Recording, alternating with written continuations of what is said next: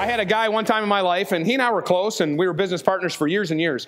And, um, and I, I, got busy at that. I was really busy at that part of my life, and uh, there's no excuse for it. I loved this guy. And I, you know, I'd text him. I'd be thinking about, hey, buddy, hope you're doing great out there, thinking of you. You know, just little stuff like that. And, you know, and, and I'll never forget one day, he calls me up, we go out to lunch, and he says, listen, I appreciate all your texts, but I want a real friendship. And I, I mean, I was just so taken aback, like, dude, it is a real friendship. I'm busy as heck. I ain't got time to sit around you know, sing kumbaya with you. At least sent you a text. But in his love language, he needed more than just a text. He needed me to communicate in other various mediums for him to feel affirmed and realize that I esteemed him. Does this make sense? And so you can't just rely on one. You have to use many of these in combination for each relationship. How would my marriage be if I relied on voice messages? Right? How would my relationship with my parents be if it were merely emails?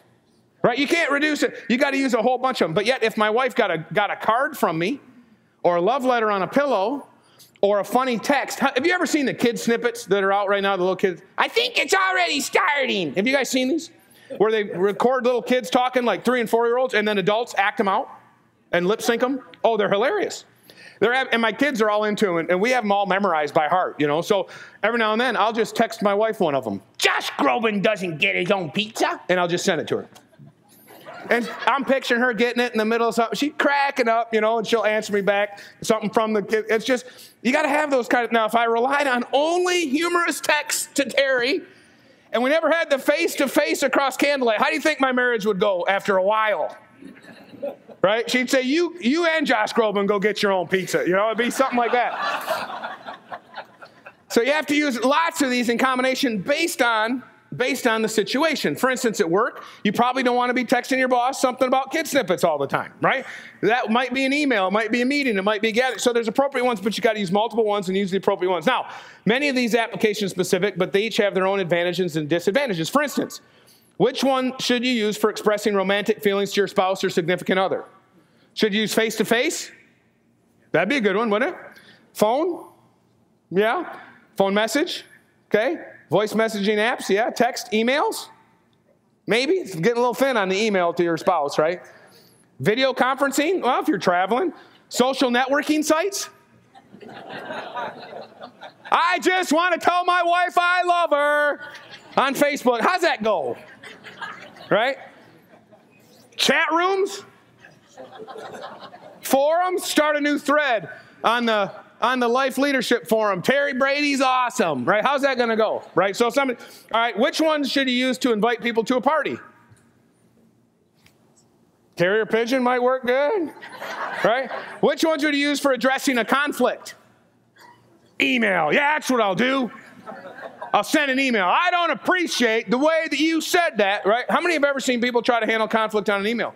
Man, I'm telling you what, that is a fart in church right there.